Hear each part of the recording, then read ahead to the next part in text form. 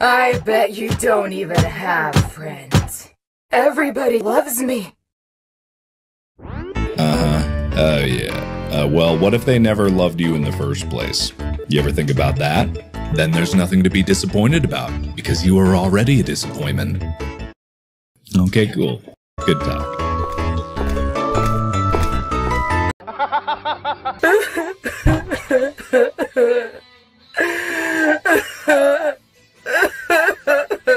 Brr.